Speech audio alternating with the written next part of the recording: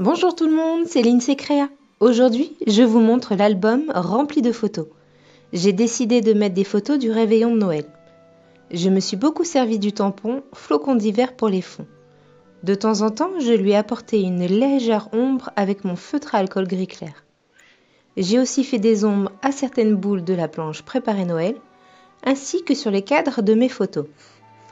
J'ai créé mes fonds avec différents tampons de différentes collections de Crazy Little Craft. Les flocons de la planche c'est l'hiver, la planche de tâche en tâche, flocons d'hiver, coups de pinceau et préparé Noël m'ont beaucoup servi tout au long de ce mini.